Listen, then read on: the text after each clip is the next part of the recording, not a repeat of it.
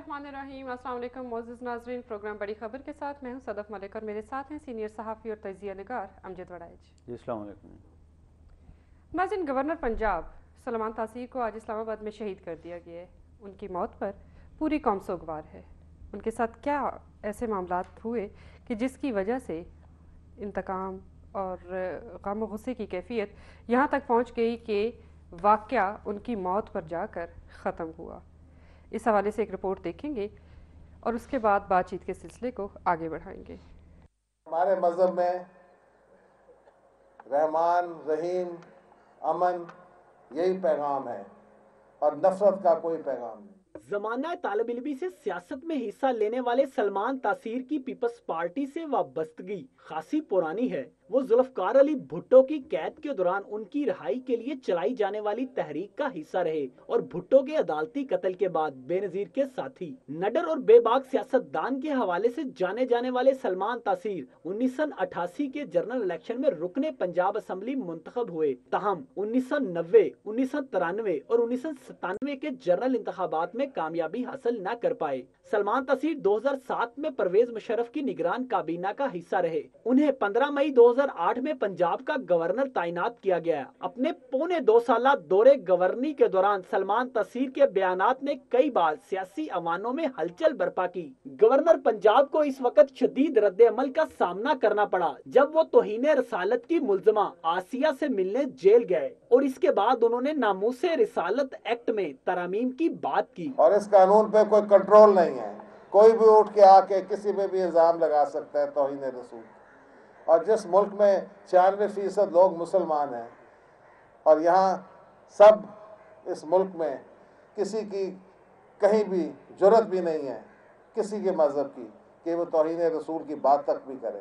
تو پھر ہمیں ایسا قانون صرف رکھنا چاہیے اس ملک میں، جہاں ہمیں ان کے پوری طرح تحفظ کرنا چاہیے کہ غلط استعمال نہ کیا جائے۔ گورنر پنجاب نے فیس بک پر اپنے آخری بیان میں جمہوریت میں شائستہ الفاظ کے استعمال کی بات کی۔ سب سے زیادہ مخالف سمجھے جانے والے وزیر اعلیٰ پنجاب میاں شباز شریف اور مسلم لیگ نواز کے قائد نواز شریف، ان کی فرینڈز لسٹ میں آج بھی موجود ہیں۔ فیس بک پر درج کیے جانے والے ان کے بایو ڈیٹا کے مطابق ان کے پسندیدہ گلوکار راحت فتح علی خان اور عاطف اسلم تھے، جبکہ دنیا کی بہترین کتاب وہ قرآن پاک کو سمجھتے تھے۔ غلام نیوز ون لاہور۔ جی اڈائی صاحب ایک نہایت افسوسناک واقعہ پیش آیا جس میں گورنر جیسا شخص بھی بچ نہیں سکا۔ جی یہی اس کی بڑی افسوسناک پہلو یہی ہے کہ عام آدمی تو سڑک پہ بالکل ظاہر اکیلا ہے تنہا ہوتا ہے اور اس کو کوئی سیکورٹی باکس پرووائڈ نہیں ہوتا اسکاٹ اس کو نہیں پولیس کر رہی ہوتی۔ لیکن یہاں پہ جس طرح کا واقعہ ہوا ہے اس میں تو جو گورنمنٹ کی ایک اب دیکھیں کہ وی وی آئی پی گورنر کا جو سٹیٹس ہے وہ وی وی آئی پی کا ہوتا ہے اور اس کے اوپر جو سیکورٹی اہلکار تعینات ہوتے ہیں تو وہ یہ دنیا میں ہر ایسا پہلی دفعہ نہیں ہوا۔ اندرا گاندھی کا قتل بھی ان کے محافظ نے کیا تھا انور سادات کا قتل گارڈ آف آنر کے دوران ایک فوجی نے کر دیا۔ تو ایسے ہو جاتا ہے ایسے لوگ سرفری ہوتے ہیں۔ لیکن ہوتا یہ ہے کہ جب اس طرح کے واقعات تاریخ میں بھی ہوتے رہے ہیں تو اس کے بعد بہت زیادہ جو ان کو تعینات کرنے والے لوگ ہیں بہت زیادہ کانشیس ہوتے ہیں بڑے وہ الرٹ ہوتے ہیں اور ایسے لوگوں کی تعیناتی کرتے ہیں جن سے یہ خطرہ نہ ہو کہ وہ کوئی ایسی حرکت کریں گے ان کے لیے بڑی سیکروٹنی کی ضرورت ہوتی ہے ان کے سائیکلوجیکل بیہیویئر کو چیک کرنے کی ضرورت ہوتی ہے ان کی جو پاسٹ آپ کہہ لیں ہسٹری ہے اس کو چیک کرنے کی ضرورت ہوتی ہے بہت سی چیزیں ہیں۔ جو چیک کی جانی چاہیے تھیں یا چیک ہونی چاہیے تھی کہ ایک گورنر کی سیکورٹی پہ ایک ایسا بندہ جس کے بارے میں بڑی ایک اوپن سی چیز ہے یہ تو کوئی چھپی ہوئی چیز نہیں ہے۔ اور جس طرح کا ہمارا ماحول ہے اس وقت جو چل رہا ہے اس میں اس طرح کے بندے کا ان کی اتنی قریب پہنچ جانا اور ظاہر ہے کہ وہ مسلح بھی ہوتے ہیں جو اہلکار ہوتے ہیں ان کا کام تو یہ ہے کہ گورنر کو خدا نخواستہ اگر کوئی تھریٹ ہے یا کسی بھی وی وی آئی پی کو تو وہ اس کو روکیں۔ وہ اس کو پروٹیکٹ کریں۔ نہ یہ کہ وہ اس کے لیے تھریٹ باندھیں ایسے بندے میں آپ کو دیکھیں یہ اس سے پہلے بھی ایسا جو پریویسلی جب چیف منسٹر تھے اور نئے نئے چیف منسٹر بنے دو ہزار دو میں جی۔ تو اس وقت بھی جو ان کی سیکورٹی پہ اہلکار تعینات تھے ان میں ایک پولیس کانسٹیبل تھا اور اس وقت اس کے نئی نئی یہ بھی شروع ہوا تھا طالبان والا چکر اچھا۔ تو اس کے ان لوگوں سے رابطے تھے اور اس کے ٹیلی فون ٹیپ کیے گئے تو پتا چلا کہ یہ تو کمیونیکیٹ کر رہا ہے اور وزیر اعلیٰ کی موومنٹ ساری کی ساری یہ رپورٹ کرتا ہے اور وہ جو پلاننگ ہو رہی ہے اٹیک کرنے کی وزیر اعلیٰ کے اوپر تو اس کو پکڑا گیا۔ اب ایشو یہ ہے کہ یہ بڑا کوئی اتنا مشکل نہیں ہوتا کہ آپ نے چند لوگ ہیں جن کی آپ نے وہ رکھے ہوتے ہیں کہ ان کی تعیناتی ہم نے وی وی آئی پی سیکورٹی پہ کرنی ہے۔